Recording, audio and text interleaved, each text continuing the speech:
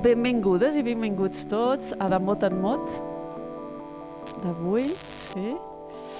Uh, avui, bueno, sempre contentes de tenir gent, avui extra contentes amb, amb, amb la companyia de la Iris que farà que il·lustrarà el conte d'avui.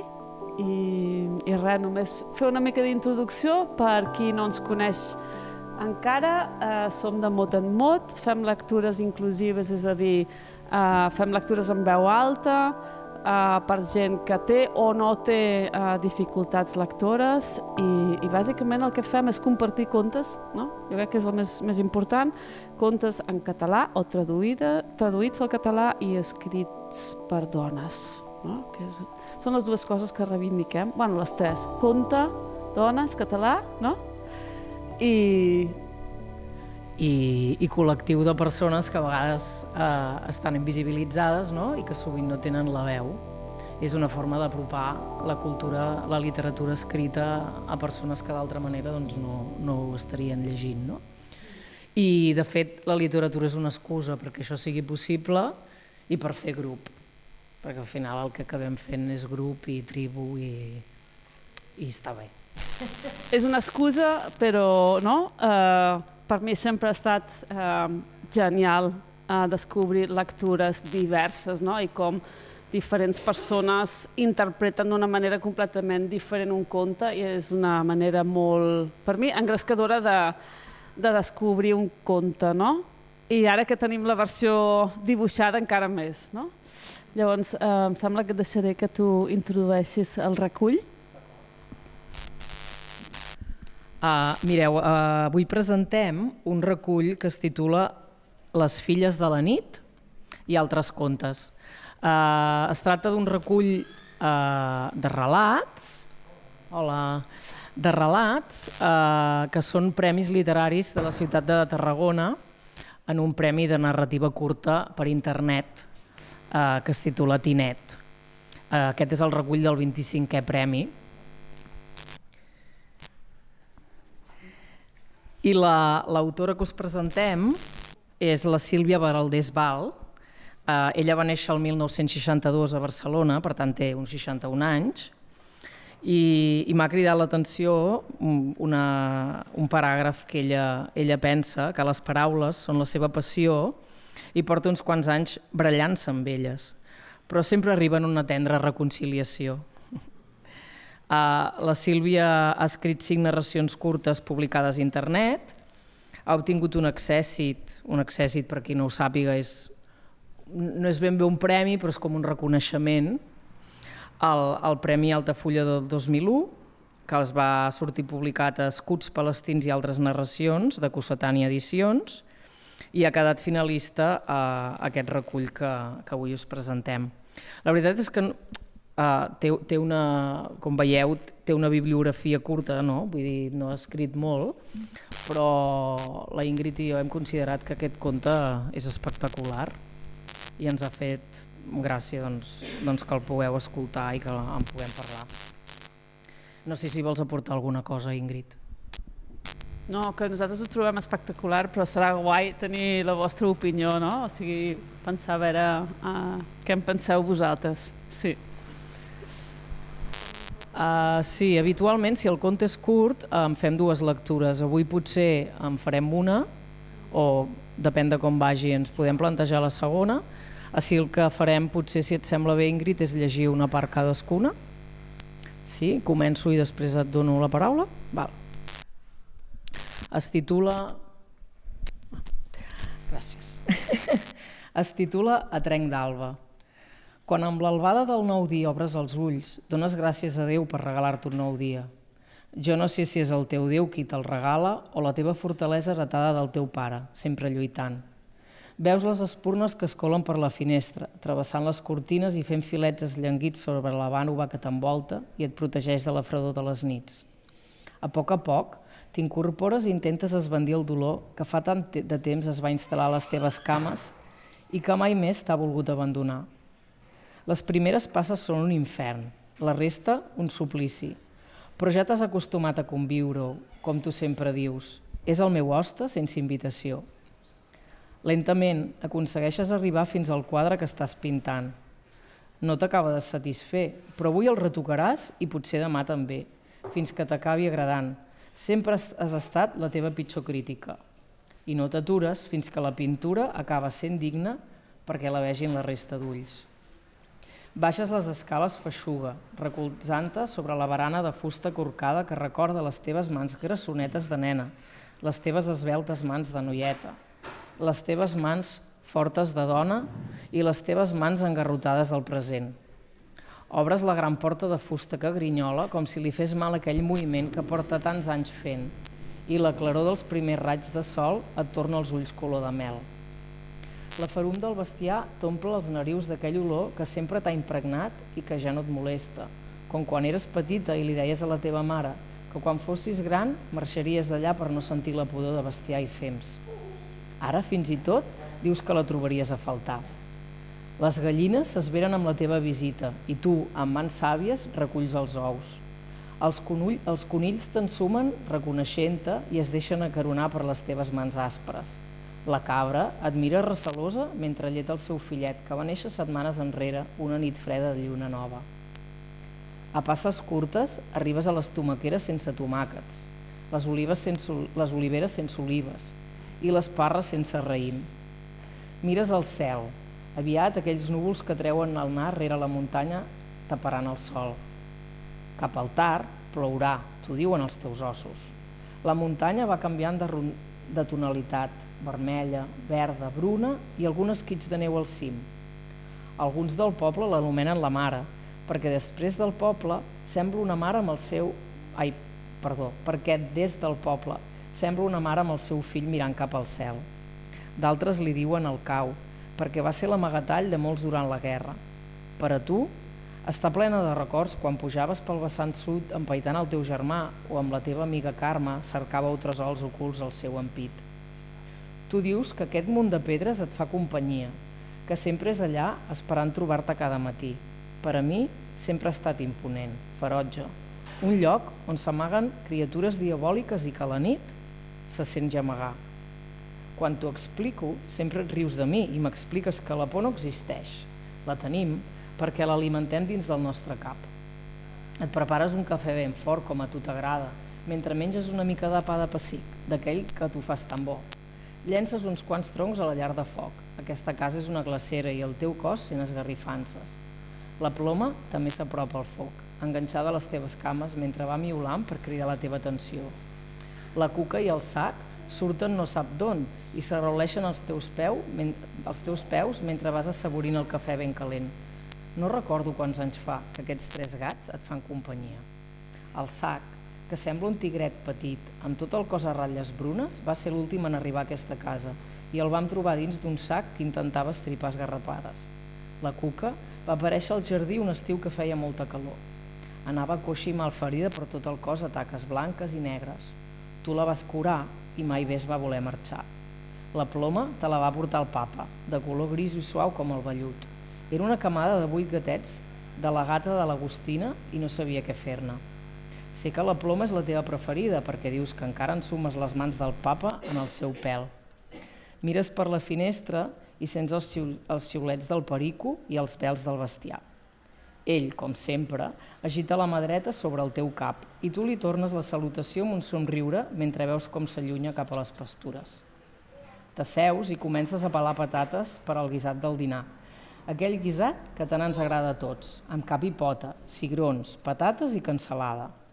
En faràs una bona olla i així arribarà per al cap de setmana que tindràs la joia de tenir-nos vora teu. Perquè sempre dius que el teu guisat és més bo quan ha repassat un parell de dies.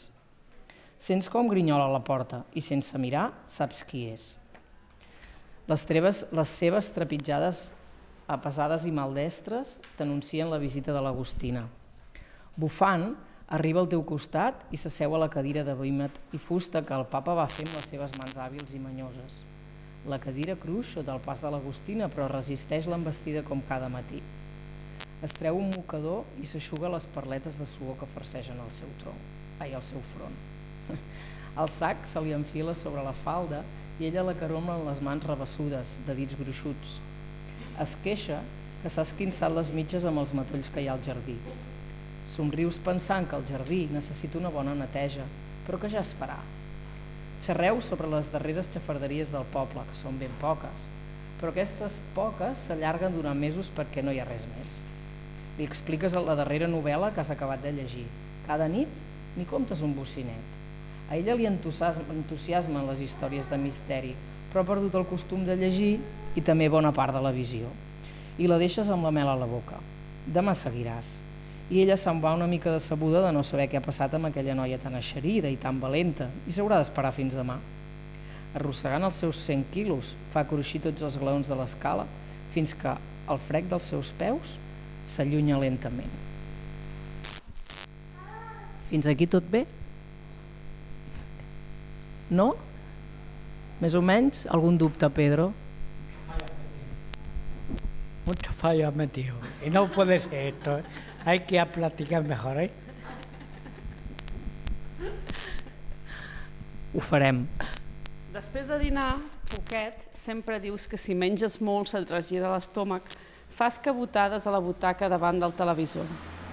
T'agrada veure les notícies i després el serial que fan cada tarda, però sempre t'acabes adormint. Avui, entre somnis, has vist el papa. Ens expliques que et somriu i que t'apareix de jove, tal com el vas conèixer, ben plantat, prim, amb un bigotet magre, el nas ample i aquells ulls que et van encisar, foscos i rodons, que ho explicaven tot. Sé que el trobes a faltar molt i que ens va deixar massa aviat, però tu sempre ens dius que segueix al teu costat protegint-te i mostrant el seu amor. Quan comença la melodia del serial, obres els ulls i et desempallegues de la galvana que, te, que t'ensopeix. Avui no te'l pots perdre, estan a punt de desembolicar l'embolic que durant mesos fa parar bojos els fidels espectadors. Però, com cada dia, decepció. Han tornat a enredar una mica més la història per mantenir l'expectació durant unes setmanes més. Apagues el televisor i baixes escales avall. Un vent glaçat et, va, et fa esgarrifar i t'emboliques amb el xal de llana que sempre portes sobre les espatlles. Els teus cabells blancs unegen a banda i banda i sobre el teu cap. Un munt, I sobre el teu cap un munt de núvols negres i amenaçants omplen el cel blau del matí. La muntanya, ara negra, retruny amb els trons llunyans que es van apropant cap a la vall, mentre una pluja fina comença a caure. Primer gota llimant lentament fins que es torna una ruïnejada persistent. Sents el degoteig sobre el teu rostre, però no t'amagues. T'ajuda a recordar aquell feliç dia que el papa et va dir que t'estimava, sota la pluja, amb els peus xops i regalimant aigua per cada porus del vostre cos mentre respiràveu aquella felicitat que per sempre més us hauria de convoiar. Els lladrucs a la tona et fan parar atenció. El perico, amb el seu bestiar, tornen dels rostolls. A ells tampoc els molesta l'aiguat i caminen parsimoniosament fins, a, fins i tot aturant-se quan troben algun matoll saborós.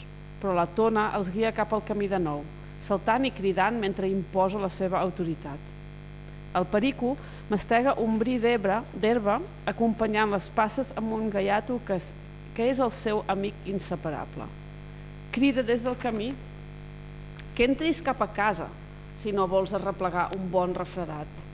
I li fas cas, mentre arrossegues amb les cames tota la humitat enganxada a les garrigues que omplen l'entrada i que van naixent sense demanar permís a ningú. En tancar la porta, un esgarrifant se't recorre tot el cos. La foscor i l'olor de revellit omple l'estança. Encens el llum i la ploma et miola des del cap damunt de l'escala. Emprens la feixuga pujada dels 22 esglaons calmosament, no tens cap pressa. Sents com la tempesta se'n va cap a altres terres que esperen goludament el regal del cel. Els núvols deixen pas a un cel ple d'estels i una lluna en quart minvant. Aquest espectacle no es veu des de la ciutat, em dius, quan et proposo que vinguis a viure amb mi. No vull que visquis sola i sempre em contestes que la soledat no és una mala companya, si no li permets que et merceixi de tristor. De vegades, en veure els teus ulls melanjosos crec que estàs trista, però no és veritat. És l'acceptació de la vida. És tolerar tot allò que has viscut, que has vist o que t'han fet patir. És reconèixer que som insignificants i que viurem i morirem com tothom, amb l'esperança de retrobar-nos en un món millor. Admires la pintura i agafes el color groc. Unes pinzellades prenen la forma de flors, unes flors que van escopint la verdor d'un prat amb una caseta de pastor a l'horitzó. Te'l mires de lluny. Li falta alguna cosa. Et fa mal l'esquena i t'asseus a la butaca. En el televisor fan un concurs d'aquells que t'agrada mirar per veure si encertes alguna resposta. La majoria les saps. Sempre t'he dit que et podries presentar que ben segur guanyaries. Tu em somrius com si fos una ximpleta. Mentre et prepares el sopar, el timbre del telèfon dringa ben fort. T'has posat contenta amb la trucada. La teva neta et volia desitjar bona nit i dir-te que el proper cap de setmana la veuràs. També vindrà el teu fill, l'Andreu, amb la seva dona i els bessons, la Bel i el Joel. Hem de celebrar el teu aniversari, ja en fas 80, però no vols que en el pastís posem 80 espelmes, tan sols dos números, que ja et pesen prou. La teva germana Emília vindrà amb el teu cunyat, el Miquel. També hi vindrem nosaltres, la teva neta Èlia, el Carles i jo. Penses en aquest cap de setmana mentre rosegues un tall de formatge i veus un got de llet. Aquesta casa es veu tan buida. Dius que quan arribem s'omple de dolces fragàncies i les nostres veus ensordeixen els gemecs de les vigues i els xerrics de les parets que se senten quan tot es queda en silenci.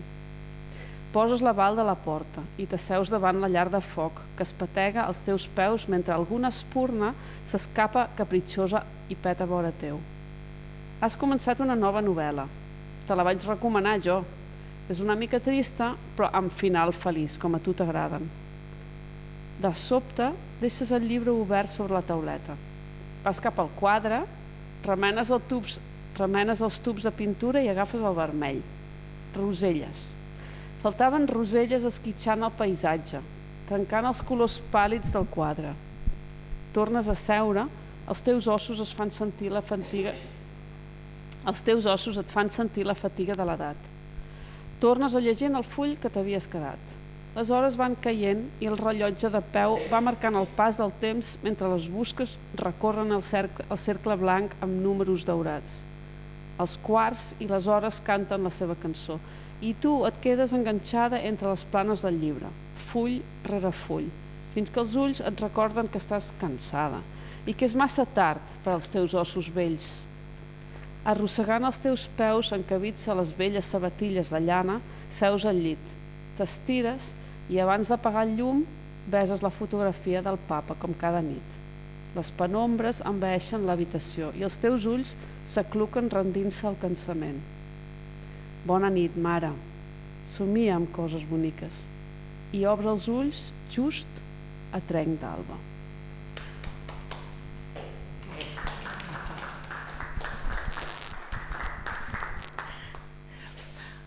L'Iris, eh, no ho hem dit que està dibuixant en directe. Com ho portes? Bueno, està bastant a mitges, però si ara aneu fent no, una conversa, jo ja l'acabaré i bé, bé, vaig bé. Merci. Sí, tindràs temps, no pateixis. Doncs bé, algun comentari així de final? No? Els silencis també diuen molt. Sí, el que, el que normalment fem és fer preguntes, no? per anar com una mica a començar la, la conversa. Um, eh, sí, la primera impressió, teniu alguna primera impressió d'aquest conte o us, deixa amb alguna sensació, algun dubte?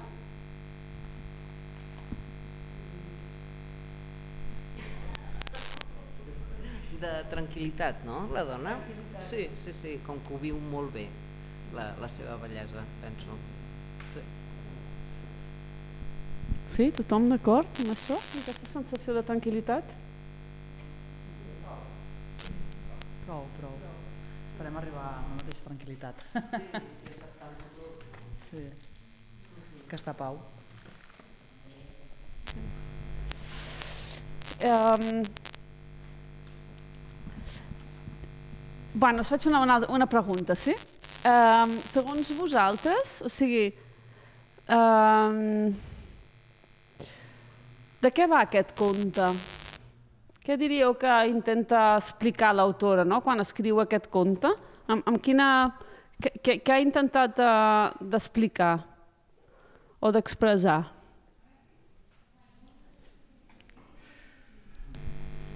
No, no, no, no.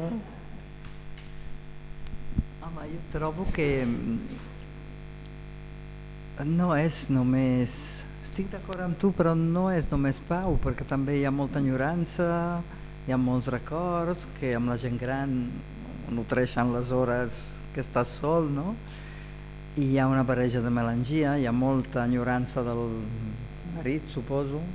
És que hi ha alguna cosa que m'he perdut una mica, eh, al principi, no. Però dibuixa un quadre d'una senyora que tot i així, amb l'edat que, que 80 no, hem dit que va fer, eh, està activa, mm, viu sola, per tant una persona coratjosa, mm, gaudeix de la, suposo que de la casa que va ser de la seva infància, pel que diu, i, i del pintar, del llegir, del, de les petites coses, també del mirar el serial, no? el que fem força gent de la meva edat, almenys jo, perquè tinc, tinc forces hores que he d'estar quieta i no sé, fascinant. Ara jo aquest sí que llegiria dues vegades. Que no sé si. No, us vull llegir un fragment, rellegir per el que dius, no? que parlaves de la melangia, la infància i la, no? la soledat d'aquesta dona. No? Hi ha un fragment que jo penso, no? a vegades l'autora explica coses sense explicar-les, no? senzillament la descripció no? et fa veure moltes coses i, i hi ha un fragment que, que, que m'ha encantat que és Baixa les escales feixuga, recolzant-se sobre la barana de fusta corcada que recorda les seves mans grassonetes de nena, les seves esveltes mans de noieta, les, perdona, les teves, les teves mans fortes de dona i les teves mans engarrotades del present. No?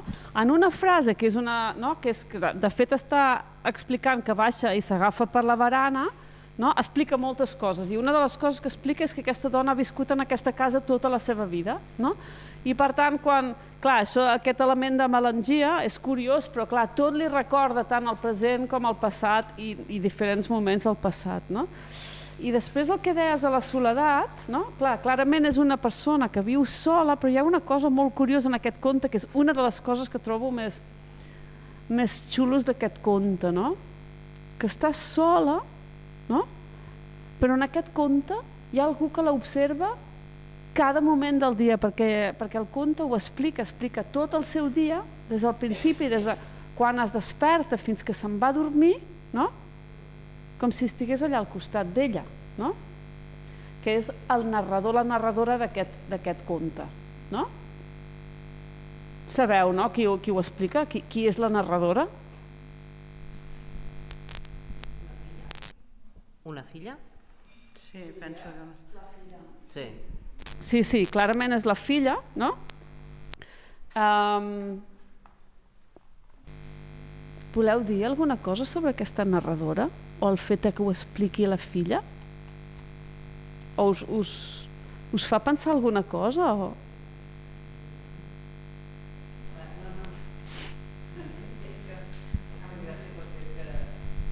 Es que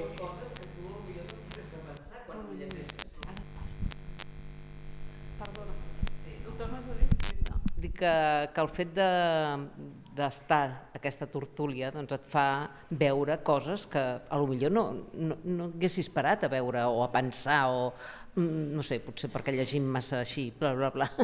però sí, no, realment, per què ho escriu aquesta, fi, aquesta filla? Pues, no sé, és la visió que té de sa mare. Eh, és que clar, ella com que ho havia llegit abans, la, la, la il·lustradora, que és la meva filla, em va, va, em va donar una opinió que jo, clar, no, no ho havia llegit ni, havia, ni sabia de què tractava. És com si aquesta filla vol que la seva, que la seva mare no visqui allà sola.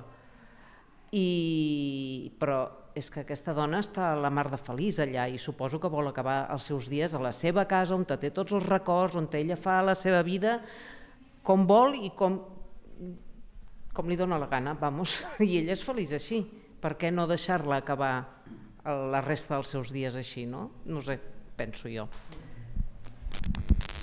Uh, jo m'ho miro més com, com si està explicant un món que ja no existeix i com si pogués ser que la mare no hi fos, que ja fos morta, però que tu vols explicar, el, vols dedicar un, un conte, un escrit a la teva mare en una vida que en realitat no li ha passat res, perquè en el conte no, no passa res. Pa, a veure, passa tot, tota una vida, però no passa res. Llavors és com si et volguessis imaginar el que va fer la teva mare o el que podria fer la teva mare un dia determinat, que és just el dia abans de l'aniversari dels 80 anys, potser recordant-ho, però recreant-ho, però també posant un, una part d'imaginació. I penso que podria ser que la mare ja no hi fos. Però és una visió. I una, una descripció fantàstica. I jo ho veig.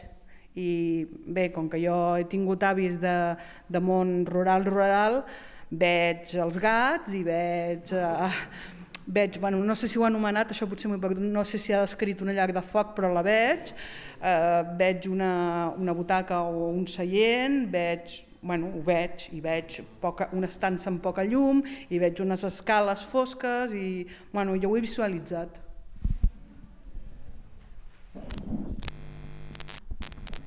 Pedro, que anaves a dir alguna cosa?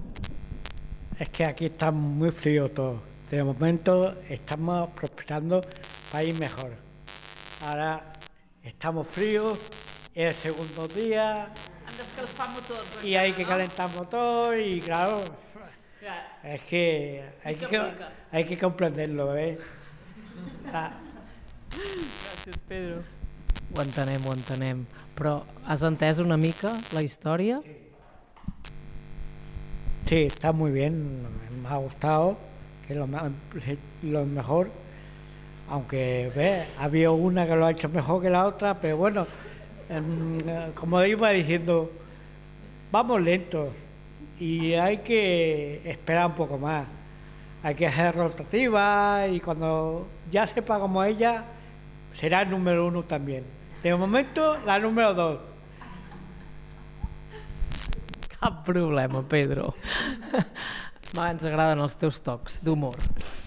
Uh, no, jo volia comentar el que deies tu, Teresa, que, que sí, que, que potser jo, jo el que veig és que hi ha una filla que ens parla de com és la seva mare no? i de tot el que fa la seva mare, que la coneix a la perfecció i crec que té més por la filla en realitat que la mare, no? a la bellesa.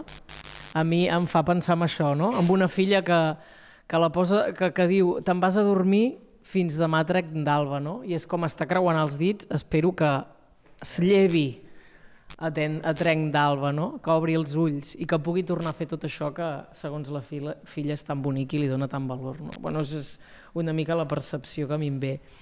No sé si aquesta dona és morta, jo crec que espera. No, el que passa és que jo, crec, jo crec que depèn de cadascú, la, la, el que té de bo la lectura és una mica el que comentaves tu, que cadascú no, ho, ho percep una cosa diferent i després cadascú també ho viu des de la seva experiència. I de mare, no? En, en tenim i, i depèn de, de cadascú com hagi viscut amb la seva mare, si la seva mare és viva, si la, mare, la seva mare és morta, no, clar, mm, al final ho perceps diferent, penso, no? Sí, jo afegiria fins i tot una altra lectura que seria com aquesta... um, um, com, com aquest desig no? de, de la filla de que es desperti l'endemà perquè la mare sembla estar com molt en pau, no? Sembla com tenir-ho tot molt acceptat i és sobretot la filla que vol, no? Que es desperti al matí. No? La mare sembla que estigui ja en un, com en un temps que és un temps com que, ho, que com tot hi és present, no? La seva infància, quan eres jove, no més tard, el seu home que ja no hi és, no? I, I jo crec que les tres lectures són, em semblen supervàlides, o sigui, no, no podria triar entre una, no? Um, sí. Es puc fer una altra pregunta? Em pregunto, quina garantia hi ha que això que explica la narradora és tal qual? Vosaltres penseu que realment és així? O sigui, fixeu-vos que és com si la filla estigués allà al costat de la mare, mirant cada moviment de la mare i descrivint-ho, no? Però s'ho està imaginant, perquè la dona està sola, no? Fixa't que és tot, una de les coses sorprenents d'aquest conte és tot en segona persona, ho explica tot. Jo, que en principi jo pensava, la primera vegada que ho llegia, pensava que era una persona que parlava amb ella mateixa. Saps que a vegades hi ha, no, hi ha contes, diu, quan l'alba del nou dia obre els ulls, dones gràcies a Déu per regalar-te un, un nou dia. Podria ser, no? I a vegades parlo a mi mateixa, no? Va, ànims, Ingrid, que, que ja som divendres, no? I, no? I podria ser fins bastant avançat en el conte, podries pensar que és ella parlant amb ella mateixa. No? Eh, llavors és curiós aquest relat, no? És un relat que s'està fent la filla, no? Llavors... Sí, a mi em recorda molt eh, una actitud molt difusa entre els fills, sobretot les filles, almenys, jo en tinc dos, per tant no tinc experiència de l'altre sexe, però que tenen com una mena de, de por, de, de recança de que no estan fent el correcte respecte a la, al cuidado del, dels pares no? I, i que potser haurien de fer més i que què fa la mare allà sola. Jo, per exemple, sóc una persona molt sociable però molt solitària també. Vull dir que a mi quan em diuen això dic a mi no m'interessa gens que em vingueu a salvar. Vull dir, espero, si ho necessitaré el dia que sigui, pues, de poder tenir algú que m'ajudi i ja està, però Mm, una filla meva viu a Austràlia, l'altra vivia a Alemanya, ara viu a Itàlia, vull dir, eh, esteu xiflada? Vull dir, jo no vull això.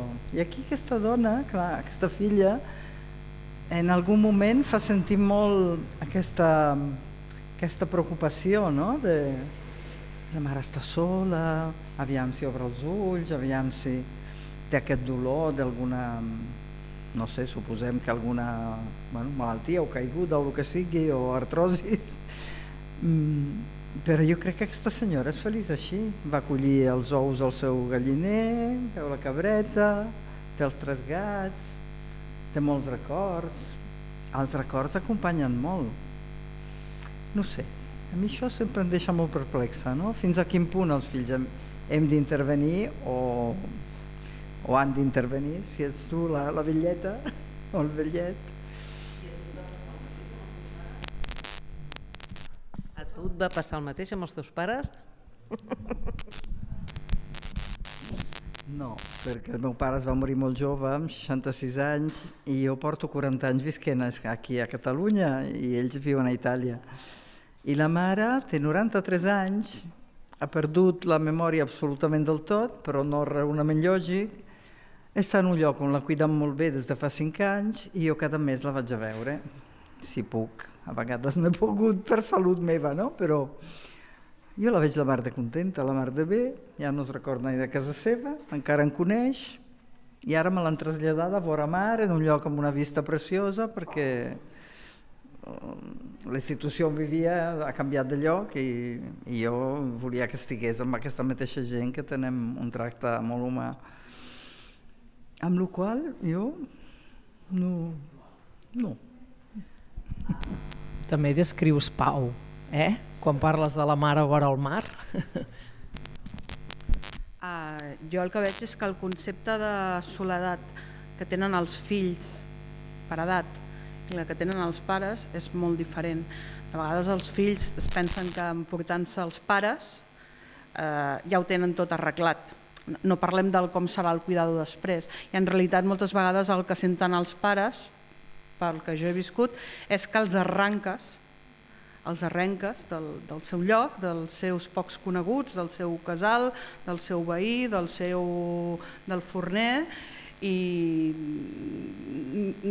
ells d'aquella soledat ja els va bé, mentre sigui una soledat diguem compartida o estones i, i molta gent gran eh, que sí que he conegut, a partir de certa edat, em diuen que a partir dels 80 en concret, que el que ve ara és temps, temps regalat, perquè el que havien de fer en una vida, diguem, allò de diguem, tenir parella, tenir fills, tenir feina, mm, fer una carrera laboral, etc etc, ja ho han fet. Llavors ara el que tenen és un temps eh, gratuït, regalat, i que no se'n van a dormir pensant si s'aixecaran l'endemà. Això ho fan els fills.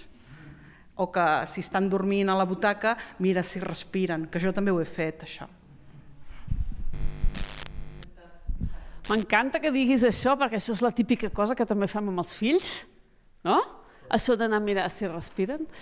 Uh, Sobretot quan neixen. Sí, sí, sí. I... Quan veiem fragilitat, tant per una banda, tant per la banda de quan som petits, com per la banda de quan som grans. No? Jo crec que detectem la fragilitat. Sí, llavors, no sé, a mi em reforceu molt aquesta idea de que una de les, de les coses molt interessants d'aquell conte és el punt de vista, no? O sigui, s'explica el dia d'una persona des del punt de vista d'una altra persona que està en un moment de vida completament diferent, no? I a més a més, no només està en un moment de vida molt diferent, però la sensació, l'emoció que ella sent també eh, afecta molt el que està explicant, no? que podries pensar en preocupació, a mi m'ha fet pensar fins i tot una mica un toc de culpabilitat, no? perquè Uh, no? O, o no sé si ho deies tu també, no? aquesta, jo podria fer més coses per tu, jo et podria acompanyar més, no? i de fet també penso que aquest conte és una manera d'acompanyar la mare no? d'una manera que no, no pot, no? Perquè senzillament la mare potser no ho necessita, no? que és el que sembla expressar la mare. No? Però en aquest sentit, per mi també el conte és com, com, com, puc estar, com, com puc estar jo amb la meva mare, no? i això em torna al que tu deies al principi, si la mare ja s'ha mort, no? també és una manera no? com de d'estar allà, d'estar al seu costat en un moment que no ho has fet, no? i potser et sap greu que no ho hagis fet. No? Um, o sigui que penso que, que el tema de la perspectiva en aquest conte afegeix moltes, moltes lectures, no? molt, molt significat. També es veu clar el que tu dius, Ingrid, jo crec que en un fragment que li diu a la mare, no? com va, que celebrarem els 80 anys no? i que vindran no? tot, tot, tots els altres parents. I l'està com intentant convèncer, no? segurament podem llegir que la mare li, al final arriba un punt que t'és igual celebrar 80 anys som més els altres, no? que hi aboquem el nostre punt de vista i que la gent més jove donem com més importància, a... però ja arriba una edat que és com, bueno, jo visc el meu dia a dia i m'és igual si em faig 80, no? I per això no vol 80 espelmes, no? Però això, això depèn de la persona, depèn de, de la persona gran que, que li toqui. Hi ha gent, bueno, per experiència també, Eh, el meu pare ho, ho he celebrat tot fins l'últim dia i en canvi la meva mare no. Eh, I això, la culpabilitat de no haver estat prou per ells i tot això és ben cert. I per un altre costat, mm, clar, comences a entendre quan vas posant anys que realment el que vols és el teu lloc, eh, fer el que tu et sembli eh, i que els altres no s'hagin de sentir culpables per això, sinó que tu, bueno, lo, uh, és el que he dit al principi, què desprèn aquest llibre? Que la dona ho està acceptant tot amb molta pau i és la seva vivència, és el que ella vol i quan acabi acabarà, però amb una tranquil·litat, bueno, que és, és meravellós. Sí, sí, moltes voldríem, eh? Arribar als 80 anys així. Jo no sé si us passa, a mi m'ha passat moltes vegades de veure dones grans i de dir ai, jo vull ser com aquesta dona quan sigui gran, oh, per favor, no? I aquesta és com que m'enamora una mica, aquest fer. Jo crec que aquí surt molt també una qüestió de rols, perquè jo això ho he viscut a, a casa també amb altres, una tieta, etc. Si una tieta com la meva tenia un fill mascle i una filla femella, la filla femella era la predestinada a cuidar-los quan eren grans i pobra noia va patir molt, eh? gràcies a aquest concepte que tenien els seus pares de lo que era tenir una filla, però en canvi el seu germà va fer el que va voler. Llavors, clar, mm, surt molt el rol de que els devem, com ens han donat la vida, ens han cuidat, els hi devem. Jo he tingut dos filles perquè he volgut i perquè m'ha donat la gana. Mm, no sé si elles han demanat de venir o no, però vaja, la meva teoria que jo les he volgut i les he tingut, però mm, no, a mi no diuen res. Jo no sento que em deguin res. Vull dir, sabe que he intentat també que fossin molt independents, no? i totes ho som, però és que quan em diuen ui, quan estiguis malalt o estiguis malament vindrem estàs sonada? Si estàs visquent a l'altra banda del món que deixaràs de fer la teva vida per venir-me a cuidar a mi? Jo no ho vull això no sé Exacte, no? Com, com, ja no, potser no, no sé, no com un sentiment, un sentiment de culpa, però potser ho voldran fer doncs, per l'amor que tenen, no? que també jo, jo, jo llegeixo amor de, de la mare, d'aquesta filla cap a la seva mare, no? I, i, potser, i potser no, hauria de fer una altra lectura, però potser jo aquest sentiment tant de culpa no, no l'he no palpat. Palpo més un amor. Però és el que us deia, eh? potser perquè la, vinc d'on vinc amb la meva experiència amb la mare, no? que se'n va morir fa poc. Llavors és com, ostres, no? Aquest desig de... Podria, voldria desitjar-li la meva mare, mama, mm, bona nit fins demà, no? I, i, i ha arribat un punt doncs, que no, no pot ser perquè s'acaba. No? Llavors, no sé, cadascú hi llegeix potser el que, el que vol o el que, o el que pot per l'experiència. Però és veritat que apuntes un tema important i es va relacionat amb el que diu la Ingrid sobre el punt de vista. Aquesta dona té un fill, té un fill que és l'Andreu, no? perquè li diu que en l'aniversari vindrà el, el teu fill, l'Andreu, amb la dona i els bessons. No? Si aquest conte l'escrivis al Joel, ai, el Joel, a l'Andreu, és que un dels fills, el, dels fills es diu Joel i per això, uh, uh, seria igual Segur que no, però és que si tingués una altra filla, potser l'altra filla el faria molt diferent també. Vull dir que no, no sé fins a quin punt depèn tant de, del gènere no? o del que... Però sí que és veritat que, que, que, que històricament les dones doncs hem tingut com aquest... No? Som nenes, quan naixem ja, ja ens projecten no? un gènere, un rol, un, que hem de fer la vida, no? que és casar-nos i tenir fills, i per sort això va canviant, per sort. Uh, us volia preguntar, alguna descripció, alguna part del conte que us ha quedat o que voldríeu destacar? Ja sé que és més fàcil dir-ho quan tens el conte al davant, eh? Vull dir que ja, ja, ja, ja llegiré alguna cosa. Tota la primera part de descripció dels dels gats, del nom, de per què tenen el nom, com van arribar, de, de la cabreta, de, bueno, tot, tot el que va dient, aquesta part de descripció és, és molt maca, la veritat. Molt, molt, bueno, la trobo molt... Eh, pots repetir el cognom de l'escriptora? De Sílvia Baraldés Val. Després et deixo la meva còpia. Baraldés. Baral, Baraldés. Baraldés, sí, sí, sí. sí. Mira, jo una de les descripcions al principi, principi, hi ha unes quantes, eh? però diu, veus les... està al llit, no? Veus les espurnes que es colen per la finestra, travessant les cortines i fent filets esllanguits sobre la bànova que t'envolta i et protegeix de la fredor de les nits. Clar, és, és una frase, però...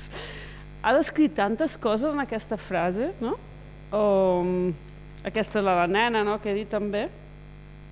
Hi havia una altra. Ah, hi havia una altra que també penso que és com molt senzill, però a l'hora de descriure què passa, eh, us recordeu que ve l'amiga la, l'Agustina, no?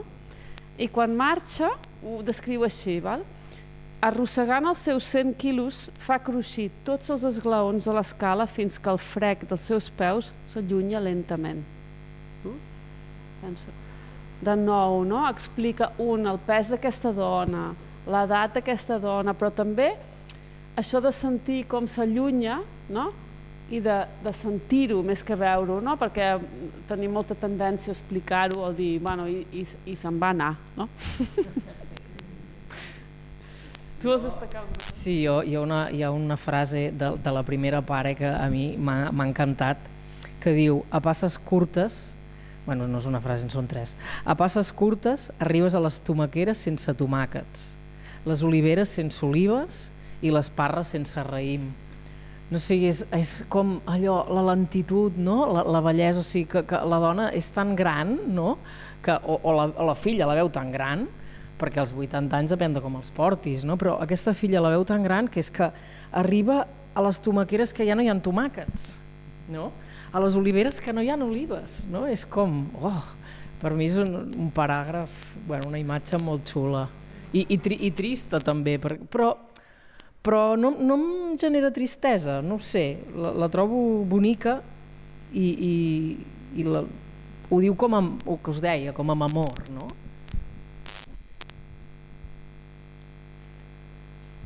Perquè crec que a prop d'això, però no estic segura, eh? També es, mm, descriu una, una planta que, que li agafa la mitja i pensa, ai, això s'hauria de tallar, però bueno, ja es, farà, ja es farà.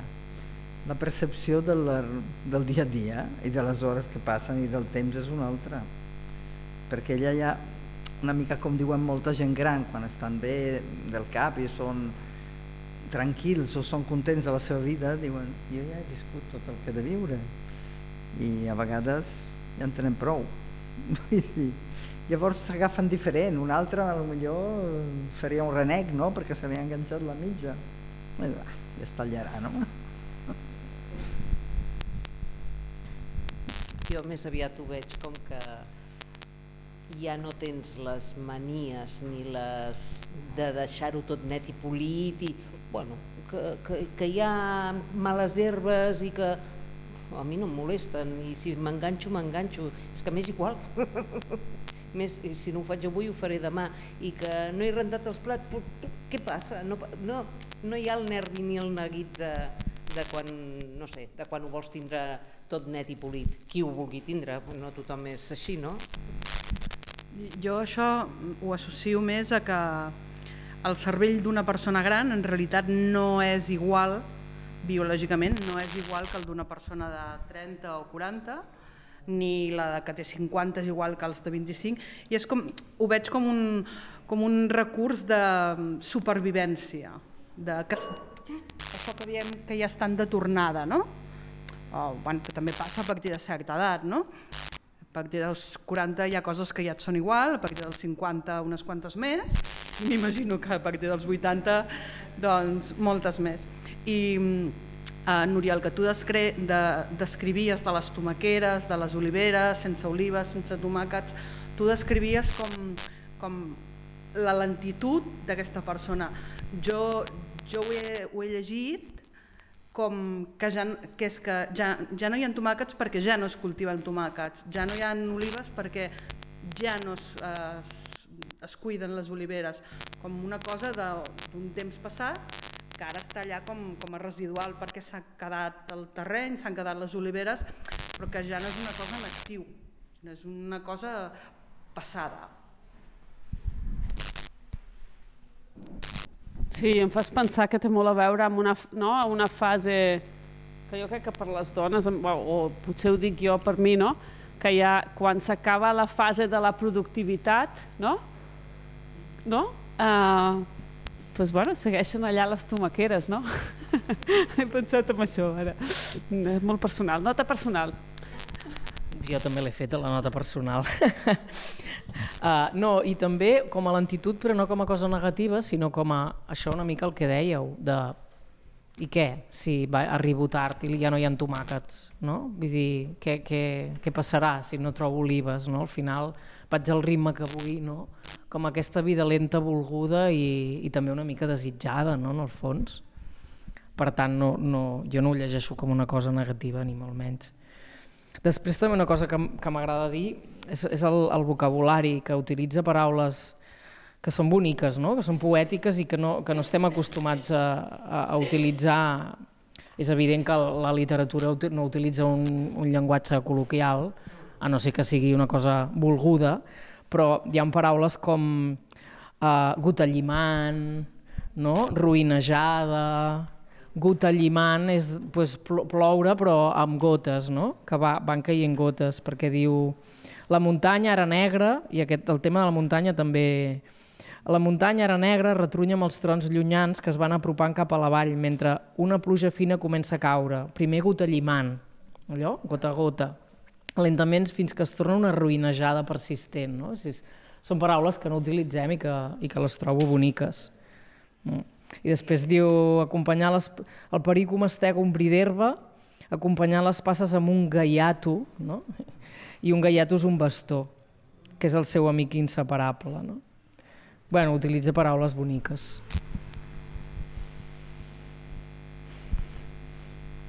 Sí, anem tancant. Mari Carmen, vols comentar alguna cosa? No?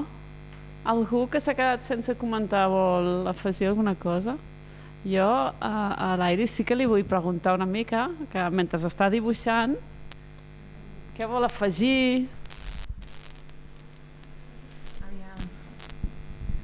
Bueno, jo ja me l'havia llegit el, aquest relat i la veritat és que em va agradar molt i moltes coses de les que s'han anat comentant sí que és veritat que hi, hi, hi havia pensat llavors, no? com per exemple com, com relata l'escriptura, no? que ho fa d'una manera molt bonica, amb els detalls, que, que si a vegades et planteges que has d'explicar alguna cosa, doncs potser no et planteges explicar tants detalls, el, el cruixit no? de les cadires, la, la mà com baixa per, per la barana i tot això, que et fa realment ficar-te en, en, en, a la casa, no? Eh, fins i tot no, doncs, sentir l'escalfor de, del foc i, i si realment una manera de, de relatar molt maca i, i la història, bueno, doncs coincideixo amb moltes coses que heu anat comentant i que també estic molt d'acord. Gràcies també per, per la lectura que m'heu ofert perquè és, ha estat molt maca. I ens vols comentar com has triat la imatge que has volgut, no? Com que has volgut plasmar del conte? Sí, la veritat és que mm, quan m'havia d'imaginar jo m'anava apuntant tot allò que els detallets i les coses que, que m'impressionaven d'alguna manera i al final he cregut doncs, això, no? que la, la seva casa, el seu lloc, era el més important, o és el més important per a aquesta dona, i, i tots els records, és a dir, és com el passat, el present, no? I, i fins i tot el futur, perquè encara potser espera llevar-se un altre dia. I, i volia com englobar-ho tot en, en un dibuixet, aquesta sensació de, de el trenc d'alba, que també és molt important, no? perquè és el moment en què es lleva, i, i aquestes petites coses que són petites però és el seu dia a dia i, i bueno, realment doncs era això, ho he volgut com englobar tot en, en, en una forma així com ovalada que el, rodó sempre ens recorda una miqueta com a confortable, com a casa, no? com a més en un niu i, i bueno, era el que m'anava venint al cap, ho anava ficant aquí. bonic. Potser vols ensenyar o vols acabar de... perquè no sé si... Sí, volia acabar una miqueta, Val. sí. Sí, sí. Doncs... Bueno, yo estoy muy contento con la gente aquí y la ilustrora, la que dibuja, que se, lo está, la Elis, que se lo está corrando. Ahora, que tuviera yo, me parece a mí que no salía ni la mitad de, lo bien que lo hace ella. Pero bueno, es un detalle. Bueno, aquí paso la la, paso el mando a otra persona. Doncs res, donar-vos moltes les gràcies a tothom per estar aquí i les persones també que ens veureu en gravar no? a través del YouTube, de la gravació que estem fent. Gràcies una altra vegada a Ràdio Televisió Cardedeu perquè sempre ens tenen en compte i, i el Tarambana per deixar-nos sempre un espai. Doncs la propera sessió serà el dia 20 d'octubre a dos quarts de set aquí al Tarambana. Esteu convidades. Mm.